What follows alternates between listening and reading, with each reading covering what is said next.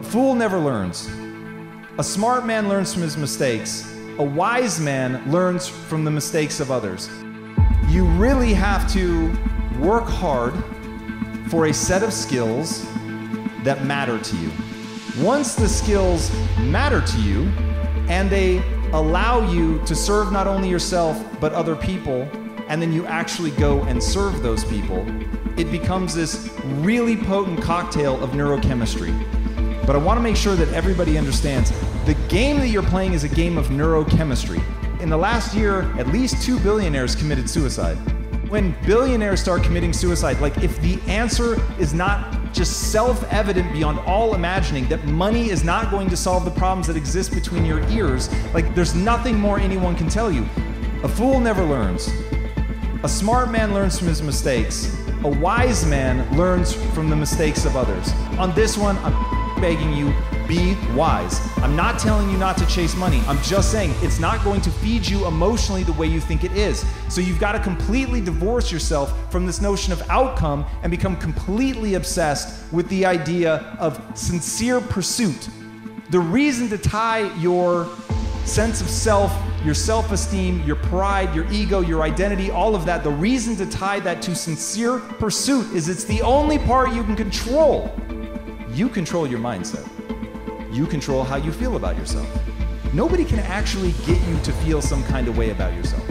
And if you lose sight of that, if you lose sight of what you allow yourself to think is going to control you at a neurochemical level, and at the neurochemical level, that's going to influence then again how you feel and how you think. And then you get into this death spiral where you're thinking negative, you believe in the negative, which makes you feel badly about yourself.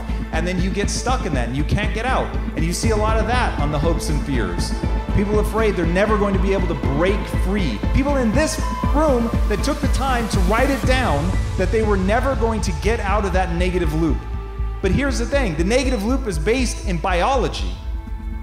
And once you begin to understand what the biology is exactly, then you can begin to take control of your life. And step one in the biological train is to break the tie that you have between outcome and worth.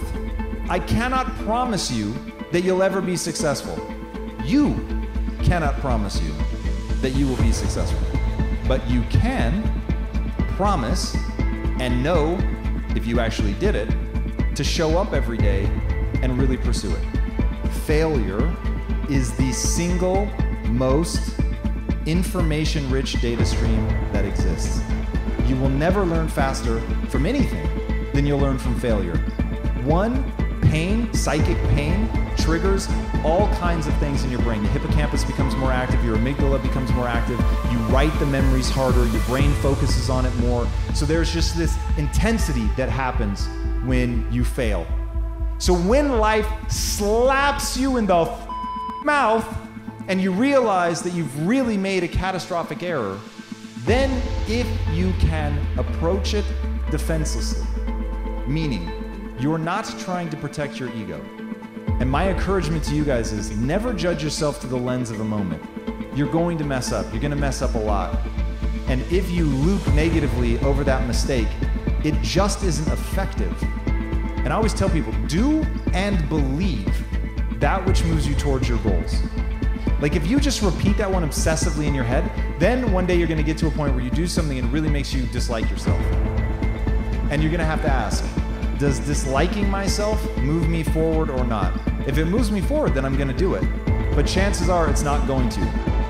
Every time something goes wrong in my life, I am asking myself one simple question What is it that I suck at? I suck at something.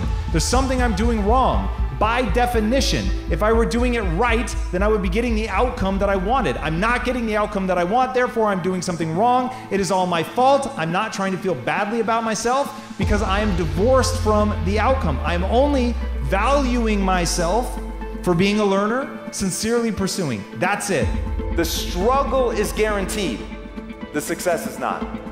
And like the thing that I beg you guys is to have the guts to fail at something that you love. And when you are on the mud, on your face, and people are laughing, the I told you so's are coming out, that you remember one simple fact you loved what you were doing, and you left it out on the field. Legitimately, like I'm getting emotional. What the else is there? What more can you ask of yourself than to really cry? To really say, I give a about this. That's the life to live. That's the life. Like to say, I care about this, it matters, it gives me purpose, I'm gonna fight for this. This is a group of people I wanna serve. And I'm gonna go all the way out every day. And look, you're not gonna hit it every day. There's gonna be days where you're off, there's gonna be days where you're weak. Weak. But if that day, instead of yourself, instead of saying I wasn't weak today, what are you talking about? If that day you own it and you say, Yeah, I was weak today and I'm not gonna be weak tomorrow, but I'm not afraid to face that. I'm not afraid to accept that I'm not perfect. I'm not afraid to look in the mirror and say, Today was a bad day, that I didn't make myself proud today. But that shouldn't diminish who you are. It shouldn't diminish your view of yourself. Why? Because it wouldn't serve you. Because if you beat yourself up today, you make it harder for you to be rad tomorrow. It's a game that has to be seen in total. It's not a game where you can take a snapshot. And this is like what I want you guys to understand. In any one moment, I've looked like a fool so many times I can't count. But when I look at my life in 10 year chunks, I'm freaked out by what I've accomplished. So I'm okay if I don't become the ultimate version of what I could become, but I won't tolerate not trying.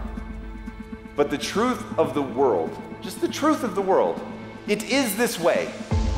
You're always going to encounter somebody better, stronger, faster, more pious, more worthy, more whatever. So if you live in a world of comparison, it will rob you of your joy. Even people who, like Michael Jordan, if you put him right now up against most rookies, the rookie's gonna win.